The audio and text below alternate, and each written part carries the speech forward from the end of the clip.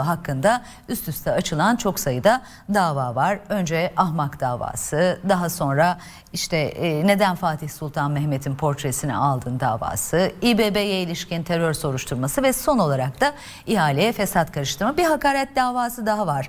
Kötü söz kendine sahip aittir, söyleyene aittir gibi çok bağışlanamayacak bir hakareti söz konusu biliyorsunuz. İşte şimdi bir bir toplantı gerçekleştirildiği ifade ediliyor sayın seyirciler. Bu toplantının da Beştepe'de gerçekleştirildiği, toplantının gündeminin İmamoğlu olduğu ve aslında İmamoğlu'na bir süre siyasi yasak getirmekten hani sadece bu seçimi hedeflemekten öte aslında İmamoğlu'nun e, siyasi kararın hayatını tümüyle bitirmeye yönelik bir e, görüş alışverişinin yapıldığı bir toplantı olduğu, bazı kararlar alınan bir toplantı olduğu ifade ediliyor.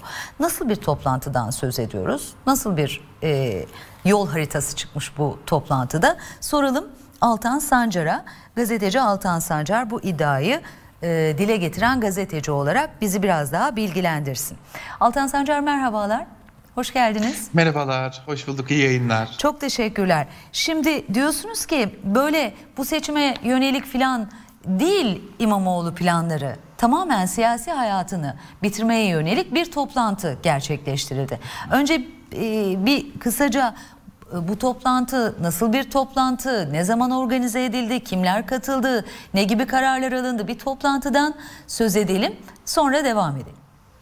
Tabii e, bize gelen bilgi e, aslında sevgili Aytun Erkin de bu konuda e, kendisine gelen bilgileri ilk olarak yazmıştı. E, uzun zamandır aslında İBB'ye bir görevden alma hazırlığı olduğu biliniyordu. Fakat bu noktadan adım adım bir geriye doğru çekilme olduğu bilgisi de özellikle yeni yılın ilk günlerinden itibaren e, kulağımıza gelmeye başlamıştı. Sonra öğrendik ki 5 Ocak'ta ee, Ankara'da Beştepe'de bir toplantı gerçekleştiriliyor. Bu toplantıya Cumhurbaşkanı Erdoğan, İçişleri Bakanı Süleyman Soylu, Adalet Bakanı Bekir Bozdağ ve AKP'nin seçim kampanya sürecinden sorumlu isimler katılıyor. Hı hı. Ve bu toplantıda İmamoğlu'na yönelik öncelikle terör soruşturmasının geldiği aşama konuşuluyor. Ee, bizim de edindiğimiz bilgi şu ki o terör soruşturması daha doğrusu henüz soruşturmaya da dönüşmediği raporun incelenmesi devam ediyor. Henüz e, raporu elinde bulunduran savcı veya ona bağlı savcılar bir soruşturma aşamasına geçmemiş durumdalar. Bu bilgi Cumhurbaşkanı Erdoğan'a veriliyor. E, hatta şöyle bir plan yapıldığı da biliniyor. Bu da orada konuşuluyor. Öyle ki e, bu soruşturmanın açılması, terör soruşturmasının açılması, İBB'deki bazı çalışanların tırnak içerisinde söylüyorum bunu, terörle ilişkili olduğu belirtilen bazı çalışanların e, gece vakitlerinde evlerinden gözaltına alınması, İBB'ye kayım atanması ve e, gibi bir ihtimal konuşuluyor. Buna ilk itiraz e, AKP'nin seçim sürecini koordine edecek isimlerden geliyor ve deniliyor ki eğer siz böyle bir adım atacak olursanız bu muhalefeti zaten konuşulması bile konsolide ederken bunun yapılacak olması bizim aleyhimize çok ciddi bir süreçle e, karşımıza gelir diye bir uyarıda bulunuyor. Hatta e, bizim duyduğumuz bize gelen bilgi o ki Cumhurbaşkanı Erdoğan e, burada şunu söylüyor. İyi de belediyeyi terör yuvası yaptı. E, bunun karşılığı olmayacak mı denildiğinde de Cumhurbaşkanı Erdoğan'a işte bu aşamadan sonra yani Erdoğan bir, inanıyor e, bu, bu böyle olduğuna aslında. Tabii ki tabii ki. Hani kamuoyunda hep şu vardır ya Cumhurbaşkanı Erdoğan'a rağmen e, oluyor. Cumhurbaşkanı Erdoğan e, bilmiyor ya da bu sürecin dışında diye öyle bir durum olmadığını da gösteren bir toplantı olduğunu da söylemekte fayda var. Cumhurbaşkanı Erdoğan İmamoğlu sürecini çok çok yakından takip ediyor ve keskin bir şekilde çözülmesi arzusunu da zaten bu toplantıda dile getiriyor. Fakat bu sürecin aleyhlerine işleyeceğini duyunca ne yapabilirler, e, ne yapabiliriz diye sorulunca da farklı öneriler getiriliyor. Bu önerilerden biri de o toplantıdan sadece 6 gün sonra davaya dönüşen bir soruşturma. Hı hı. Ekrem Bey'in e, İstanbul Büyükşehir Belediye Başkanı olmadan önce Beylikdüzü'ndeki yönetimi sırasında yine tırnak içerisinde ihaleye fesat karıştırdığına ilişkin bir e, iç işlerinin bir incelemesi ve bu incelemeden doğan, ihbarla doğan bir soruşturma vardı. Bu soruşturma davaya dönüştü. O toplantıdan sadece ama sadece 6 gün sonra. En önemli nokta şu. Burada Ekrem İmamoğlu'na istenen ceza ihaleye fesat karıştırmaktan kaynaklı bir ceza. Hı hı. Peki bu buradan Ekrem İmamoğlu ki duruşma 2023 yılının Haziran ayında görülecek elbette henüz seçimlerden sonra ama e, Ekrem İmamoğlu olur da iktidarda seçimi kazanır ve yargı bugünkü pozisyonuyla devam edecek olursa İmamoğlu'nun verilecek cezanın onanması halinde şöyle bir durum ortaya çıkıyor. Milletvekili seçilme kanunu yine Cumhurbaşkanı'nın kimlerden olabileceğine dair o konuyu belirleyen kanun. Yine belediye başkanlarının seçilmesine dair prosedür gereği şöyle bir tablo çıkıyor. İmamoğlu'nun tamamen e, memnu hakları iade edilene kadar siyaset sahnesinden çekilmesi anlamına geliyor bu. Ee, bu çok önemli. Türk Ceza Kanunu'nun 50 hakları kullanmaktan yoksun bırakılma başlıklı 53. maddesinin uygulanması talep edilen bu de bu. siyasi yasak. Hı hı. Bu siyasi yasak getirilmesi bu yasak infaz süresince cezanın infazı süresince geçerli. Ancak yine ihaleye fesat karıştırma suçlamasıyla tırnak içerisinde yine söyleyeyim yüz kızartıcı suç olarak da addedilir bu suç. Ee, buradan ceza alan bir kişi milletvekili seçilme kanununa göre memnu hakları yani sahip olduğu yasaklı hakları kendisine yine bir mahkeme kararıyla iade edilene kadar bir daha milletvekili adayı, cumhurbaşkanı adayı ya da belediye başkanı adayı olamaz. Ve bu infaz süresince geçerli değildir. Bunun iadesi yine mahkeme kararıyla olmak zorundadır. Ki bu da çok uzun bir süreç oluyor. Nasıl derseniz onu da söyleyeyim. Önce İmamoğlu'nun eğer verilecek ceza onanırsa bu cezanın infazının da olması beklenecek. Bu infaz olduktan sonra 3 ya da 5 sene bu başvuruyu yapabilmek için bekleyecek. Ve başvuruyu yaptıktan sonra da mahkemeden karar çıkmasını bekleyecek. Bu da yaklaşık 6 yıl, 7 yıl, 8 yıllık gibi bir sürece tekabül ediyor evet. ki e, bir siyasetçinin bunca süre siyaset sahnesinde olamaması demek e, takdir edersiniz ki siyaseten e, geri plana itilmesi anlamına da gelecek. Bu evet. İmamoğlu'nun geleceği için yapılan plan. Fakat şunu da söyleyelim terör soruşturmasıyla İBB'de İmamoğlu'nun görevden uzaklaştırılması ihtimali şimdilik geri plana atılmış olsa da tamamen gündemden de çıkmış değil. Ee, sadece zamanlama bekleniyor. Burada hep söylediğimiz bir nokta var. Sinan Ateş cinayeti iktidar içerisindeki dengeleri fazlasıyla değiştirdi. Bu dengelerin yeniden kurulması bekleniyor. Bu dengeler kurulduktan sonra bu terör soruşturmasının da nereye gideceğini o zaman görmüş olacağız. Evet. Şimdi e, müsaade ederseniz önce bir e, anladığımı özetlemek isterim ve yanlış anladıysam lütfen beni düzeltin.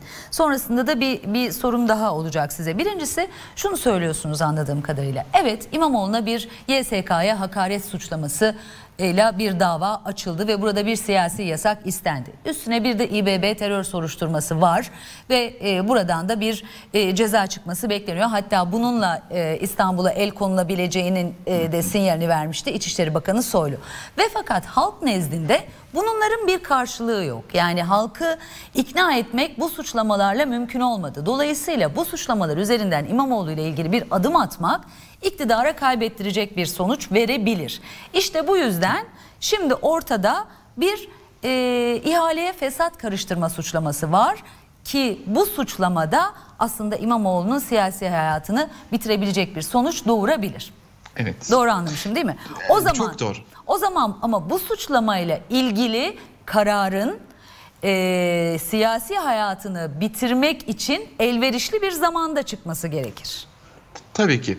O da e, iktidarın hesaplaması şöyle. Onu da söylemek lazım. Şu an itibariyle Ekrem İmamoğlu'nu şu aşamada bütün görevlerinden uzaklaştırabilecek yine milletvekili adayı ya da cumhurbaşkanı adayı diyelim olmasının önüne geçebilecek iki argüman söz konusu zaten. Bunlardan biri terör soruşturması buradan belediye başkanlığından uzaklaştırılabilir. 14 Aralık'ta verilen ceza eğer üst mahkemeler tarafından seçim sürecinde onanırsa bu da cumhurbaşkanı ola ki diyorum tabii ki burada. Ola ki cumhurbaşkanı adayı olarak masadan çıkar ise bunun da önüne geçmiş olur. Seçimlere kadar geçen süre böylelikle İmamoğlu açısından kapatılmış kullanılmış olacak kadar argüman var iktidarın elinde. İktidar bir de tüm bunlara maruz kalacak siyasetçi daha güçlü gelir ihtimalini de göz önüne alarak biz seçimleri kazanırsak bir sonraki seçimde İmamoğlu tekrar karşımıza rakip olarak çıkmasın diye uzunca bir süreyi de Evet. garanti altına alma peşinde.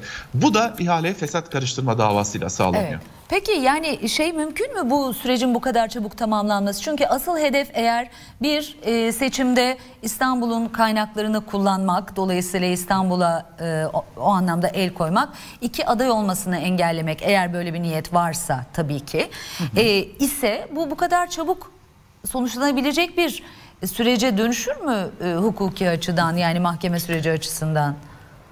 Ne yazık ki burada hani hukuki bir yorum yapmak elbette ki mümkün değil. Ee, çünkü yargının ne derece siyasallaştığını Ekrem İmamoğlu davasına müdahalelerden görebiliyoruz.